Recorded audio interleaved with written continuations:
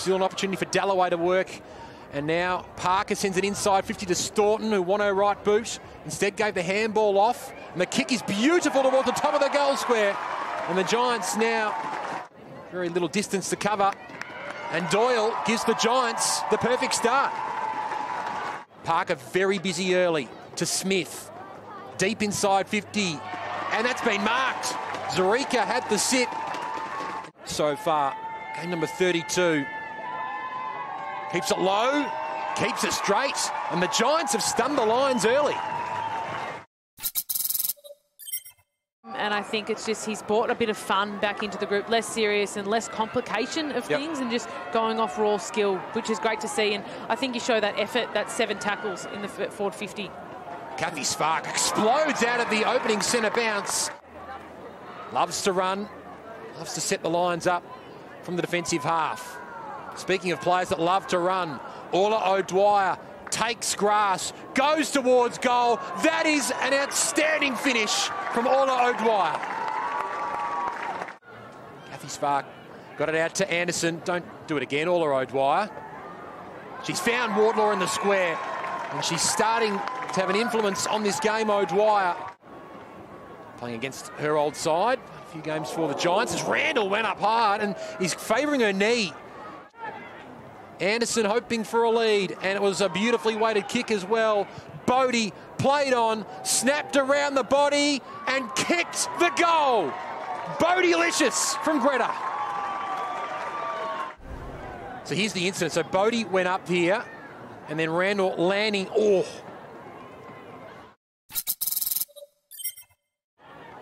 Inside 50, Grierson with Hodder, who kept her feet, did the team thing. That's brilliant. And Greta Bodey from directly in front. She's now got two goals each in her first two games of season seven. So we're talking about Tait Mackrell. Her skills are elite in, in those in those situations. Garnett plays on and gets it to Parker, who's a little closer to goal and probably on an even better angle.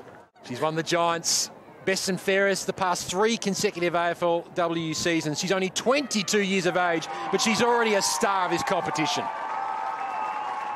Wardlaw dropped it, but then so clean at ground level. Sweeps the hand pass over the top to Bodey. And then Ruby Svarc. She has a good look at the goals and sneaks it in. Lovely finish from Ruby. Dalloway on hands and knees. Farquharson back out to O'Dwyer. Hicks came through. Bates on her favoured left. It's got there. Goal umpire gives it the all clear. And Emily Bates has her first of the game. Evans set a toss. Good bounce for Smith. Back to Ruby Svarc. Deep into the arc. Smith applied the tackle. Farquharson outside the boot. They just running forward with authority, and Bates is going to get a second in a minute. She cannot be stopped. Play on and send it deep inside 50. Bates was tracking back, looking for a third goal. Getting greedy now, Bates. She tries to keep it in, does keep it in. Hodder, this is in very dangerous territory. Ran straight into the Tani Evans wall. Awesome tackle.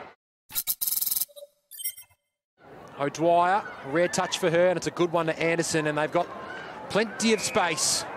Ellenger runs her full measure, kicks a goal and nails it.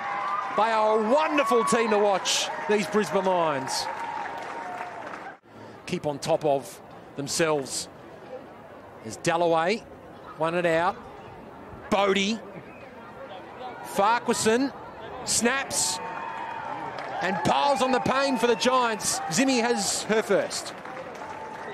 in the Giants forward line last year, and hopefully we see her back in the next couple of weeks. And, and Beck Beeson as well. You think about putting her into the Giants midfield Yeah. and the likes of what they're able to do. It's, you know, things are only looking up for the Giants and their attacking style of football. Nice little crowd lifter here for the Giants. So many tackles on the wing, and then a tackle from Hodder. It's on behind the play.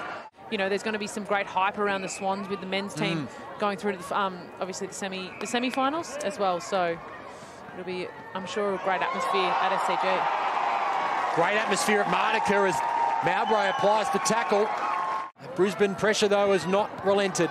Mackrell sends it deep to the top of the goal square. Ball goes to the back. Grider saves the day, just rushes it through for a behind.